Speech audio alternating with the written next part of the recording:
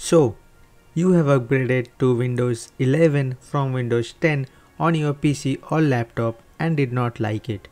Maybe because of performance issues or how it looks and works or for whatever reason and now you want to go back to Windows 10 and do not want to reinstall Windows 10 from scratch which will remove all of your apps and data.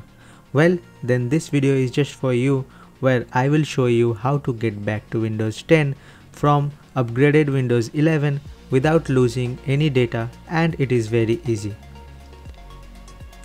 On your Windows 11 PC, go to the settings app and head over to Windows Updates section. Now click on recovery which is third from the last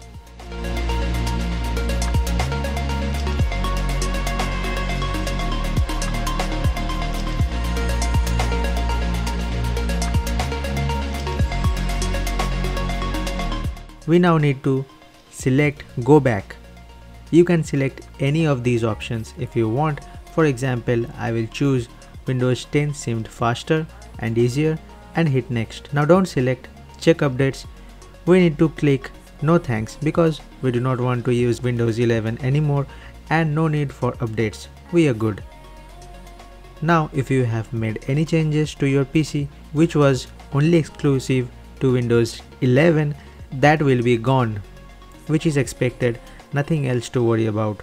Just hit next and finally click go back to windows 10 your pc will reboot and boot into windows 10 that's all. I hope this video has helped you. Please leave a like and subscribe my channel. If you need any help on this topic please feel free to comment your queries below and have a great day